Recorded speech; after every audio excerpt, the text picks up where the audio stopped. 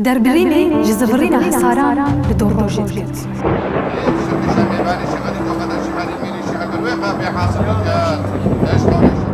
Dem şev.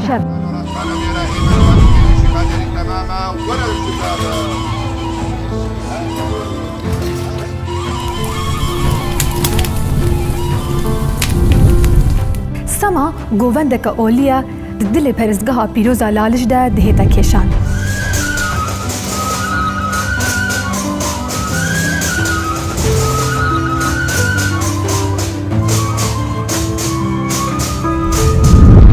Di her ceşneke êzidiyan de li nava perestgehê dema tarî dikevite erdî dengê def û şibaban ji dûr tê hêdî hêdî nêzîk bibe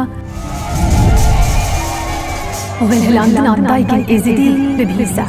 Ew jî semaya têdekêşan.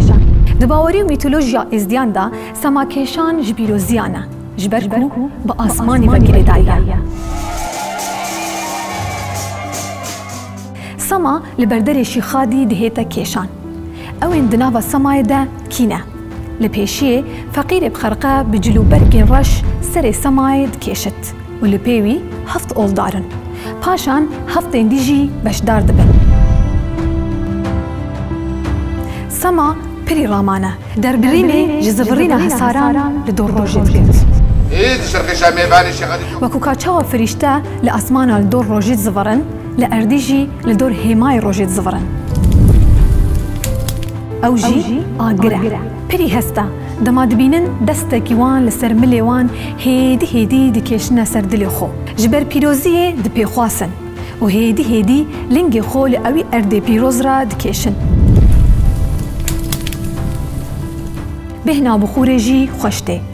Di destê dayikekê de ye ji dil şikestiya olî ye. Ji dîtina semayê û bihîstina awazên xwezayî têr nabî.